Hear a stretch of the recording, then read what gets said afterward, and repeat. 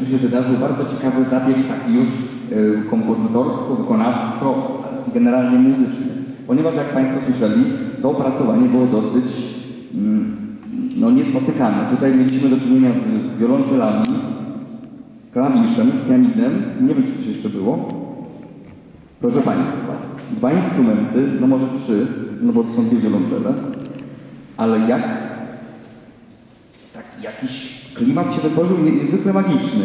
A do tego jeszcze klasyczna emisja u Agnieszki. No muszę powiedzieć, że niezwykła, niezwykle ciekawa sprawa. Proszę Państwa, idziemy dalej w głąb. E, Tak jak w przypadku większości polskich kolęd, autor e, tekstu i muzyki do kolendy Gdy śliczna panna również jest nieznany.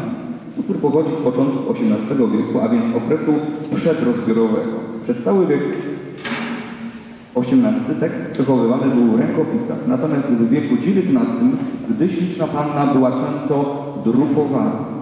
Jest to jedna z najstarszych, a jednocześnie najpopularniejszych polskich kolęd. Przez cały wiek XVIII i XIX kolenda Gdy śliczna panna śpiewana była praktycznie w każdym klasztorze żeńskim. Obecnie śpiewana jest podczas mszy, w domach, a także w czasie szkolnych jasełek. Zapraszam Państwa do wysłuchania.